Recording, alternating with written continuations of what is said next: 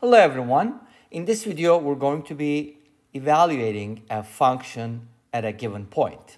So we have f of x equals x squared minus 6x plus 1, and we're supposed to evaluate f of 3 plus the square root of 23. Why do we have such a radical? Because this problem allows for two different methods.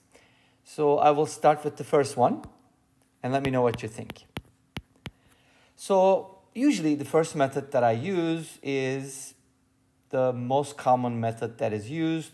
Sometimes can be a little brute forcey, and you know people complain about it. Why do you do it the longer way or something? But there's always something that you can learn from each method. I hope so. Let me know again what you think. So first method is going to be pretty straightforward. I'm going to go ahead and replace x with this input value. So f of 3 plus square root of 23 based on the given is equal to x squared minus 6x plus 1. So basically this value is going to replace the x's, okay, in all places. So we're going to have to square that number first and then minus 6 times the same number. Oops, that's supposed to be root 23. And finally add 1. Since 1 is constant, it's unchanged, okay? And this is what we're looking for. So let's go ahead and expand it as much as we can. So 3 plus root 23, if you remember the formula for a plus b quantity squared, it is a squared plus b squared plus 2ab, at least that's the version I use, and that's it. Of course, we're going to combine like terms, but let's go ahead and distribute the next one. That's going to give us minus 18, minus 6 root 23, and now we have a plus 1 at the end. Okay, so what we did was replaced x with 3 plus root 23 on both sides because that's how you evaluate functions. Okay, great. Let's go ahead and simplify this and this is going to give us the result in the simplest form. If you simplify this a little bit, you're going to get uh, the square 6 root 23 is going to cancel out. This is 32 minus 19, I mean not 19, minus 17, or you can do minus 18 and then plus 1, same idea. This will be 14 plus 1 is going to be 15. Hmm, that's pretty interesting, don't you think? So we're given a quadratic function like this, and then the answer is not a radical. Why is that happening? Good question. We'll find out with the second method why this is happening. But basically, this is what we, we've been looking for. F of 3 plus root 23 is equal to 15, and that is the answer. Okay, cool, cool. Let's go ahead and check uh, out the second method and see if we can get the exact same result, maybe a little easier. Okay, great. So one more time, f of x is given as x squared minus 6x plus 1, and then we are supposed to find f of 3 plus root 23. Obviously, this problem can be changed a little bit without changing the 3 by the way, and you're going to see what, what I'm talking about. But this could be a square root of 1 million, or square root, well, 1 million, that would be 1,000, you know. But square root of 99999, something like that. Anyways, so this is what we're looking for. If you plug it in, it's going to be the first method. So we got to do something different. And here's what we're going to do. Given the fact that we are dealing with the radical here, and looking at the right-hand side, there's something called completing the square. Okay? Let me go ahead and talk about it a little bit, and then I will show you how we can apply it to this scenario.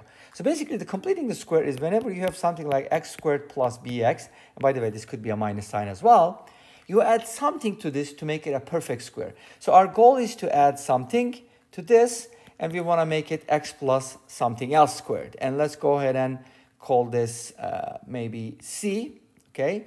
So the goal is to make it this. But what are you supposed to add? That's, uh, this is how you find it. You look at the coefficient of x, okay, which is b, or plus minus b, doesn't matter, because we're going to square it eventually. So you cut the b in half, which is half of b, and then you square it, and that gives you this number. So in other words, if you add half of b squared to both sides, the left-hand side becomes a perfect square. But what's the relationship between c and b? Well, when you do this, you're basically looking at this, or with the minus sign, right?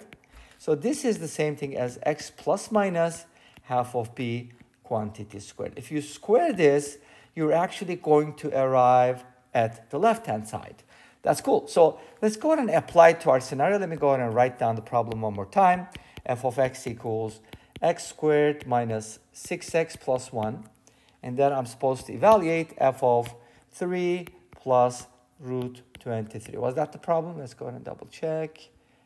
Yep, that's it. Okay, so here's how we're going to apply completing the square to the right-hand side. We have x squared minus 6. But you might be saying, okay, what about the 1? Don't worry, we're going to take care of that. First, think about it this way. What number should I add to this to make the right-hand side a perfect square? And that, that you can find by cutting the 6 in half. Oops, sorry, I'm ahead of myself. Half of 6 squared. That's what you need to add. But that is 3 squared, which is 9. So in other words, you have to add 9 to this to make it a perfect square. And we'll talk about what that turns into next. But you can't just add 9. Of course, you have to subtract it. But then we also had a 1 here. So this part, if you noticed, this part is the same as x squared minus 6x, which is this part, right? So all what we did was added 9 and subtracted 9, and we kept the 1. Make sense? Okay, you could do it differently too, like you could do x squared minus 6x plus 10 minus 9, but that wouldn't be as good. Anyways, so here's what we have now. f of x, now these two will kind of combine. We're going to get x squared minus 6x plus 9 minus 8. Yes, you could write the 1 as 9 minus 8. That's probably easier, maybe.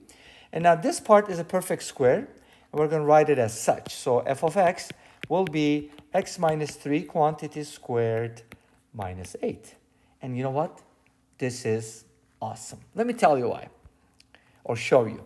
Remember, we're looking for f of 3 plus root 23. So when you substitute this number for x here, you get 3 plus root 23 minus 3 and then quantity squared minus 8. Guess what? The 3's cancel out and that's the beauty of the second method. So you get f of 3 plus root 23 as root 3 squared, which is, I mean, root 23 squared, which is 23 minus 8. So to keep a long story short, sorry, I kept it too long, f of 3 plus root 23 is equal to 15. And that happens to be the answer. Should we check with the first method? Absolutely. You should always check your work. Yay, we got the same answer. Everybody's happy. Everything is awesome. And this brings us to the end of this video. Thank you for watching. I hope you enjoyed it. Please let me know. Don't forget to comment, like, and subscribe. I'll see you next time with another video. Until then, be safe, take care.